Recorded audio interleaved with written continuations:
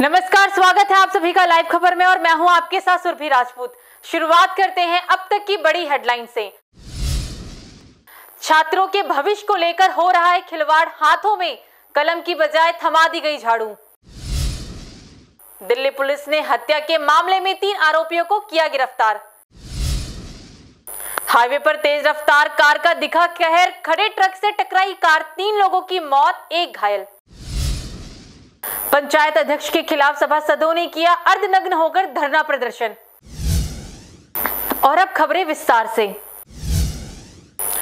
छात्रों के भविष्य को लेकर एक ताज़ा मामला सामने आया है, जहाँ सरकार पढ़ेगा इंडिया तो बढ़ेगा इंडिया की बात करती है तो वहीं यूपी के संबल में यहाँ छात्रों के हाथ में कलम की बजाय झाड़ू थमा दी गई। आपको बता दें कि सरकारी स्कूल में पढ़ने वाले छात्र स्कूल में पढ़ने की वजह झाड़ू लगाते दिखे। ऐसे में शिक्षकों का, बच्चों की तरफ़ कोई ध्यान नहीं था। आखिर क्या होगा बच्चों के भविष्य का? कौन होगा इसका जिम्मेदार? ऐसे में सवाल तो कई उठते हैं जो सरकार को कटघड़े में लाकर खड़ा करते हैं। दिल्ली के थाना नंद नगरी इलाके में विक्की उर्फ़ कट्टा की दो दिन पहले हुई हत्या के मामले को पुलिस ने सुलझा लिया है। पुलिस ने इस मामले में तीन आरोपियों को गिरफ़्तार किया है। यूपी के बागपत ज़िले में तेज रफ्तार कार का कहर रुकने का नाम नहीं ले रहा, जिसके चलते आए दिन लोग दुर्घटना का शिकार हो रहे हैं। आपको बता दें कि ताज़ा मामला ईस्टर्न पेरिवल एक्सप्रेस वे का है, जहाँ देर रात तेज रफ्तार डस्टर कार हाईवे पर खराब खड़े ट्रक से टकरा गई।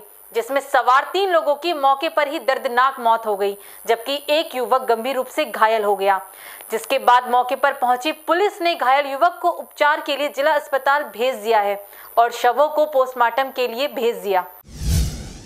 जनपद कासगंज के नगर पंचायत अध्यक्ष सहावर जाहिदा सुल्तान और सभासदों के बीच विकास कार्यों के विवाद को लेकर आज कस्बे के तेरह सभासदों ने अर्धनग्न होकर धरना प्रदर्शन किया है। नगर पंचायत सहावर के कार्यों पर चेयरमैन के खिलाफ मानकों को अनदेखा किए कार्यों की जाँच कराने के लिए एसडीएम सहावर को ज्ञापन भी दिया। फ़िलहाल अभी के लिए न्यूज़ बुलेटिन में इतना ही। देश दुनिया की तमाम बड़ी खबरों को जानने के लिए जुड़े रहिए हमारे साथ और देखते रहिए लाइव खबर।